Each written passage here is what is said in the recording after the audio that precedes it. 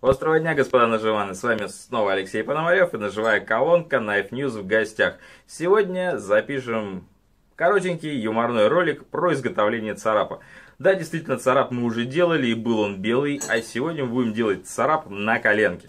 Если вы считаете, что вот такой царап это дорого, и это не по карману, то мы берем вот такую вот обычную мех-пилу, и сегодня делаем из нее царапа. Да, реально, он будет значительно уже, он будет, если уже он будет все-таки длиннее, он будет совершенно другой рукояткой, но он будет бюджетный, забавный, стебовый и из того самого быстрореза, который славится своим шикарным быстрым резом. Смотрим, друзья.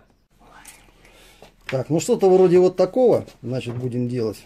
Народного длинного.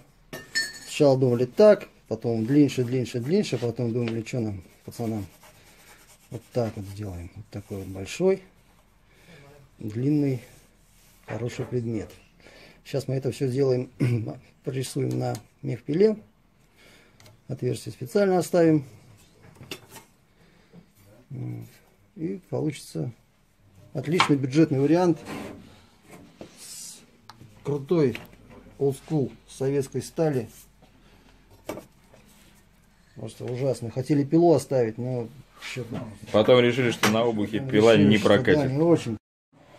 На тот случай, если кто не понял, я нахожусь сейчас в мастерской ВКЛ посреди всей Москвы и снимаю изготовление шуточного царапа из мехпилы именно в их мастерской. Пока мы готовимся вырезать заготовку, покажу вам, какие вкусности висят у них на стене. Вот, друзья мои, череда тех самых орликинов, которых вы ждете. И вот тот самый большой, красивый и ужасный который, видимо, ждет тоже своего часа для того, чтобы оказаться либо редким кастомником, либо нередким серийником. До сих пор никому не понятно, чем это все закончится.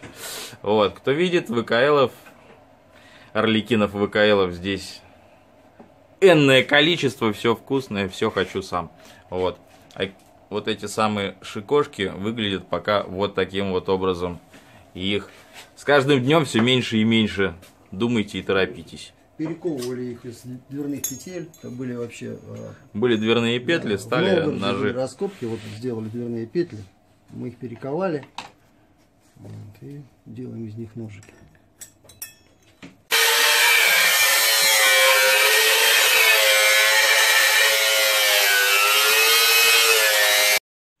Ну, вот такая вот милая штуковина у нас отрезалась. Все у нас размечено. Сейчас будем на гриндере колбасить саму форму.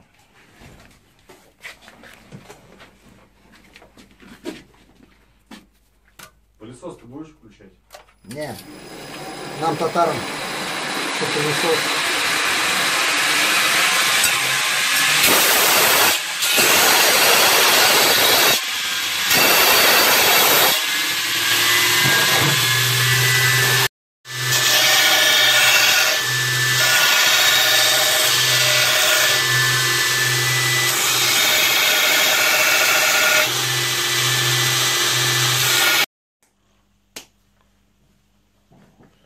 Собственно и все, пацаны.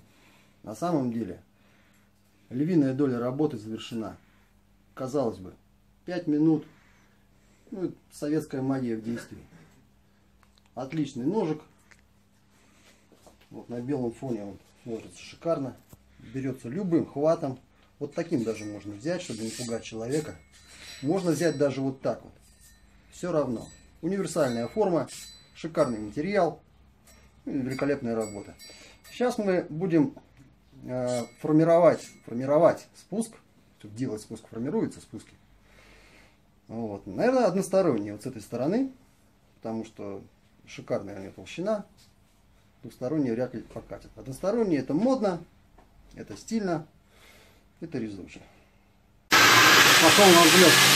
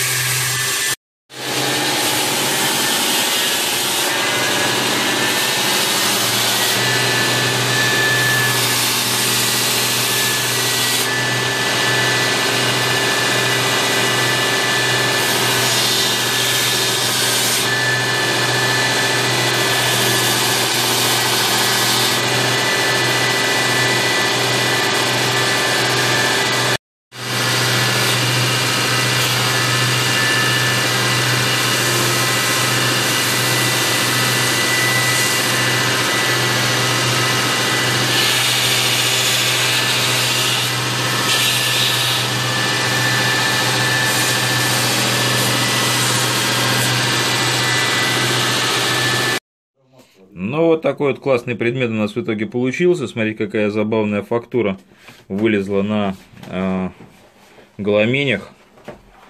Убралась на резиновой ленте вся эта окалина страшная черная. И вся эта шагрень осталась на самом ноже. Алексей, надо перевернуть, тут шагрень еще лучше. Да. Смотрите, вообще Тут шикарно. по, по плоскости вообще сейчас. Шагренистая шагрень. Вот такие у нас крупные планы. Каверны все остаются, они нам никак не помешают для реза, потому что со спусками у нас все абсолютно адекватно. Сейчас заточим предмет и будем его тестировать. Мой любимый быстрорезик. У меня дед был сапожник, я эти ножи из этих самых пил с самого детства в руках тискаю. А теперь вот такой вот Варнклиффина страшный и ужасный будет.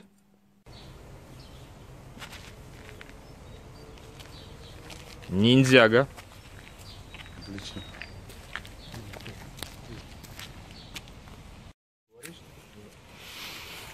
Ну и попробуем тест на бутылке того же самого тоненького ножика из мехпилы. Без замаха. Обычная бунакочка. Стоит вообще шаг.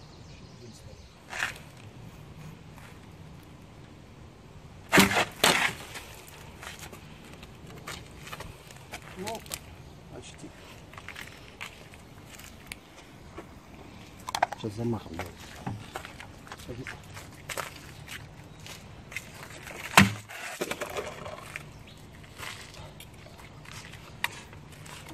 Пожалуйста. Может, арлекин принести? Не, не надо, зачем?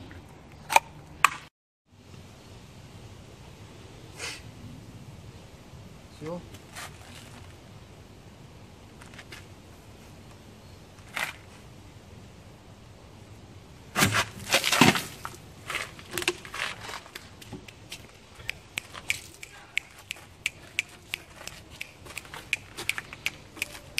Отлично, отлично. Предмет в кадр. Все в один дубль. Все один дубль. Вот те самые забавный ножик, который у нас получился, которым и разрубилась бутылка, и разрезался листик, и один, другой, и третий. И пока я крутил ножик и пил чай, оказалось, что ложка-то у меня здесь уже сделана именная, с художественным травлением. Написано Леха. Даже вот так вот чаем меня поют у ВКЛов с именной ложкой. Все, друзья, ножик был клевый, ножик был классный. Почему был? Есть. Моя туфля никому не отдам.